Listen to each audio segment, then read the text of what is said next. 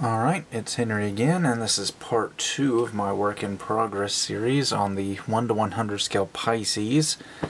And as you can see, I've gotten quite a bit further than I had last week. Last week, basically, all I had was the crotch piece and the thighs. So this time around, I've got quite a bit of work done on the legs and the feet, and I've gotten the torso's about in the same place it was last week, but at least I've gotten it attached to the legs now. So, um, the thighs are pretty much the same uh, as they were. Uh, that little hobby base ball joint in there, haven't really done much to them other than beveling the edges on the top and bottom. That not only uh, accurate to the line art, it also increases the mobility slightly by uh, sanding those edges down. Anyway, the knee joints, I actually, the knee joints were the last thing I did. I, in fact, just finished those a little while ago. Uh, there, I thought of like five or six different ways I could do the knee joints.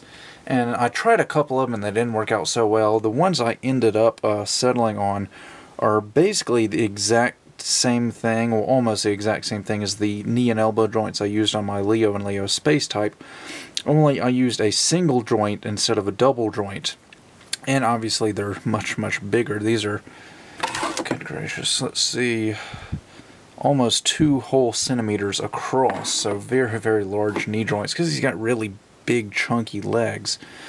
Uh, it works the same way. It's plastic on plastic. And it's just going to bend.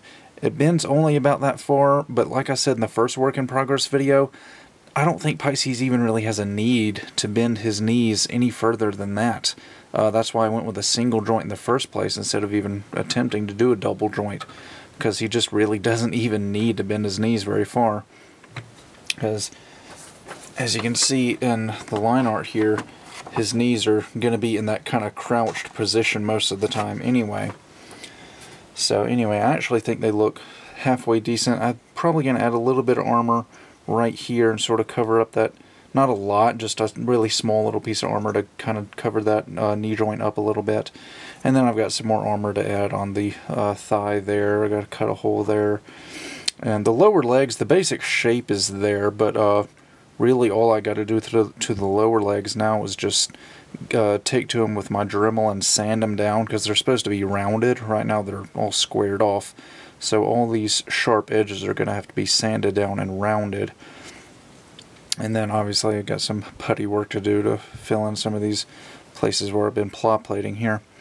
The feet are something that I hadn't even started on last week. In fact, pull this out.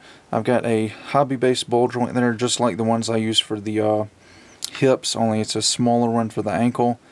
And here is the actual foot. I've got this little box, the ball joint plugs down in that hole in there. And then it, Pisces just has two toes, and I got them both on polycap so they can move up and down, and they can rotate as well, so it actually helps with him standing flat on his feet. And they're not done yet, but this is the basic general shape. Uh, there's really not much to do to them after this other than just cleaning them up and maybe scrubbing a few panel lines on there. Also going to do some detail on the bottom of the feet as well. Uh, let's see.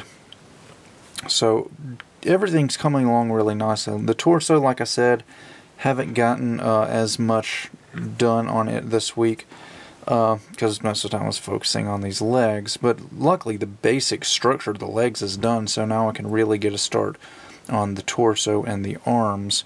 It's got this little skinny waist here because Pisces actually does have a pretty skinny waist as you can see there. Kind of like Aries' waist almost. So I'll be putting some pla plate around in there and, and then it's kind of a just a big box right now but I'm going to be adding pla plate and just kind of building on top of this and keep adding and adding and then sanding it all down nice and smooth until I get it into the final shape I already drew out in pencil right here the position that the chest vents are going to be at. I'll have the camera eye right there. He's got a fin on the back. And then uh, I've got these ball joints here. Those are going to attach to the sides for the shoulder joints. And honestly, I think the arms are going to be the most challenging part of this kit because the arms are kind of complex. But, uh, yeah, that is where I'm at now. I'm actually pretty pleased with the progress I made this week. I'm really liking the way these legs look. One more thing I do want to mention is how incredibly stable this guy is. Uh, he's rock solid, absolutely rock solid.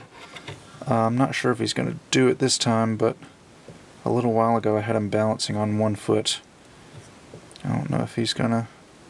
No, he's not wanting to do it this time, but I had him balanced on... Oh, there we go. Balanced on one foot. But just really, really solid much much more so than any of the other kits uh, kits I've done. The knee joints are nice and tight, not loose at all, not too tight. They're just perfect, perfect. Uh, most Bandai model kits aren't even this solid, so uh, it just makes me really happy because most of my scratch build kits that I've done are not very solid at all. Uh, you don't really see that much on camera because I try to edit out the bloopers, but like Mercurius and Vayeate, they would fall apart constantly and Virgo 2 would be constantly falling over because he was so back heavy and Cancer's claws were kind of fiddly. But uh, Pisces, I think, so far is, is turning out to be really, really nice and solid. I mean, shake test, nothing is moving on this guy at all, so I think he's going to be very, very sturdy. So that about does it for this work in progress video, and I think by this time next week I should have uh, quite a bit more work done on the torso and hopefully have uh, a good start on the arms. So with that, I'll see you guys next time.